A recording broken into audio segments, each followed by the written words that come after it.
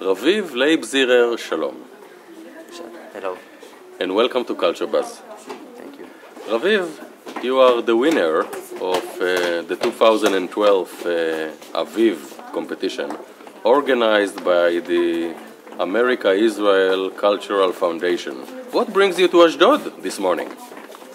Um, I think every competition is an opportunity to perform, and it doesn't matter, you know, if if the competition is uh, big or maybe less, but uh, it's opportunity to perform, so it's it's wonderful. Okay, so we should tell our viewers that uh, there is a, a national competition here in Ashdod for young pianists, and you are participating in the category of uh, the oldest of the youngest. And you have opened with a rondo by Mozart, and then you switched to a few pieces by Brahms, Yeah. and you have concluded with a Chopin uh, ballad.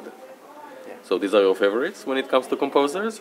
Um, no, no, but um, these pieces I really like Okay. the the piece, um, and I it's also um, I I play the Brahms uh, two years already, so every time it's like It's becoming getting better. deeper and deeper. Better and better. Um, and yeah, of course, it's um, the, the composers are amazing, but um, I I like also a, a lot of other composers.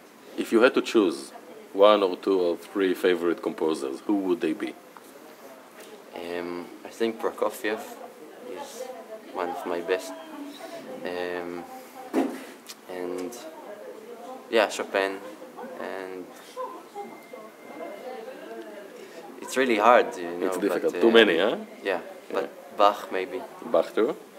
Raviv, uh, how did it all start for you when it comes to the piano? How old or how young were you when you started playing?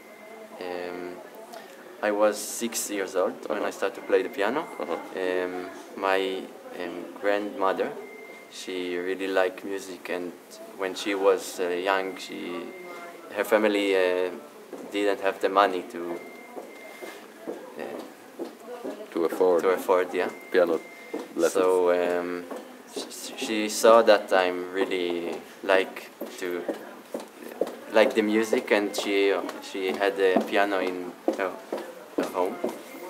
So every time I when I was there, like already in the age of uh, five, she sang sang songs and like and I just put my hands like without uh, knowing Okay. nothing. And then when I was at the first grade, she told my mother that if uh, if I will um, study, she will afford it. ah, she will pay for it. Yeah. Okay. So N- nice grandma. yeah. okay. And uh, your teachers? Can you mention uh, your teachers? Um, I started with um, at the conservatory in uh, Kiryat with Philip Luria. Up north, yeah. Yeah.